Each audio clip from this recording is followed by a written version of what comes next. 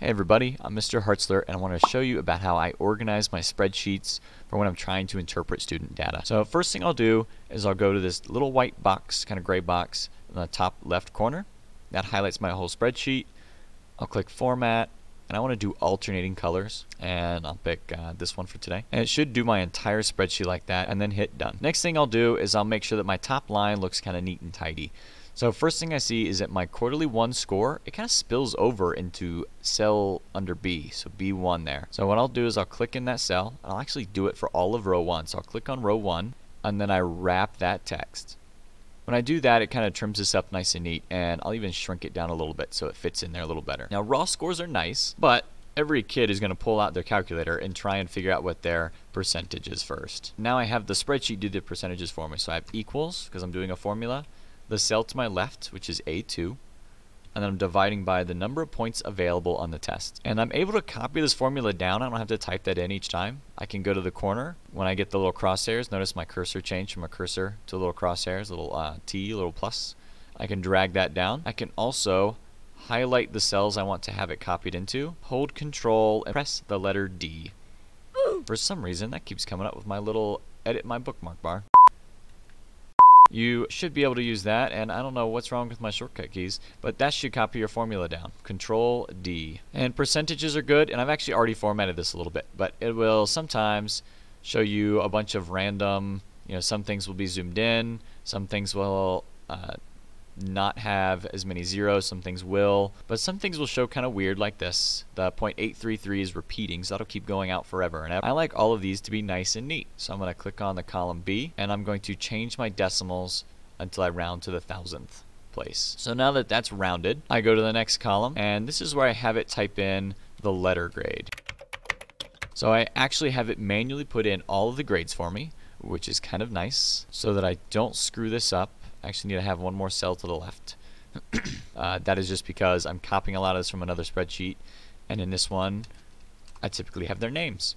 So in this cell I will have it calculate the letter grade. I do that with what is a pretty complicated formula but this is the whole thing so it has it it's an if statement so if the cell to the left is greater than 0.925 spit out A 0.895, A minus, and so on until if the score is less than 0.595, spit out F.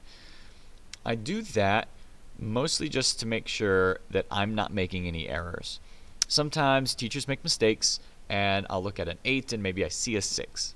No reason why, just it happens sometimes. I do that so that the spreadsheet does it, I don't make the mistake. I'll also shrink this one down a little bit and shrink this one down a little bit. I will center this row, not that top one. So I held control and I clicked on that top one. I didn't want to sort that one or push that one to the left, but I will center the rest of it. Over here, I have a similar statement. So I want to know what my how many A's, how many B's, how many C's I got on all of this test. If I just graph the percentages, it's going to give me a bunch of data, sure, but it's not very good. It's not helpful so I'll just insert a chart really quick and you'll be able to see what I mean. Look at that. That's a, a line. If I do a chart, how helpful is this if I'm trying to show my administration maybe what everything looks like or um, you know how my students did if they did well or did poorly. This doesn't help anybody. And what I'll do instead is I have totals with each letter grade, even including pluses and minuses. Sometimes I do that, sometimes I don't.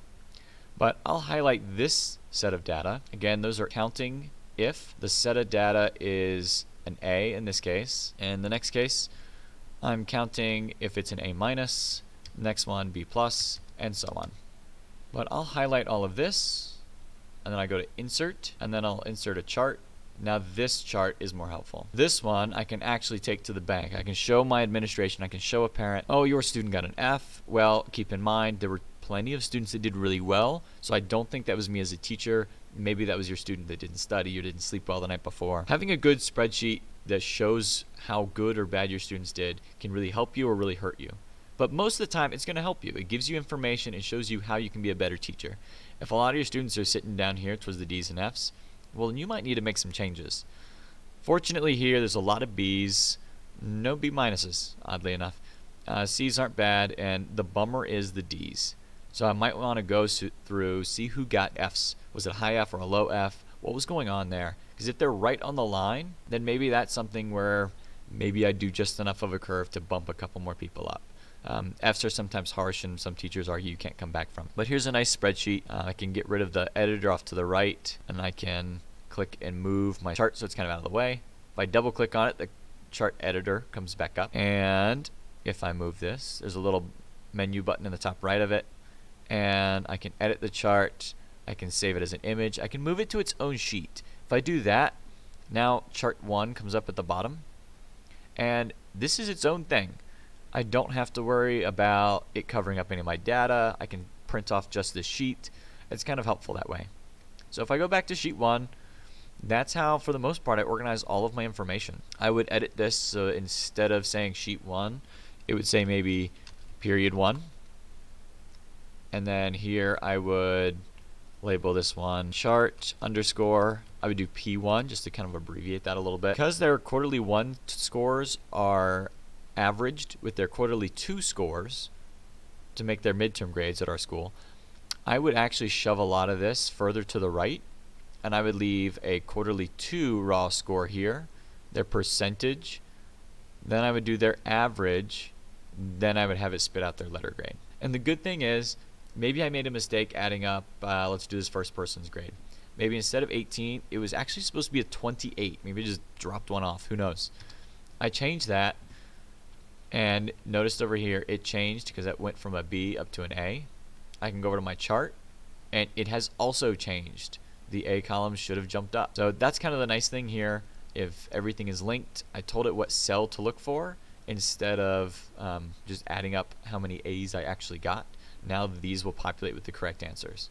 So I, I hope that helps you. I hope that lets you know kind of how I edit my videos Sorry, not how I edit, edit my videos, how I edit my spreadsheets. Uh, hopefully that helps you there and lets you know a little bit more about how I organize it and can help you organize yours in the future. If you have any questions or comments, please leave those down below.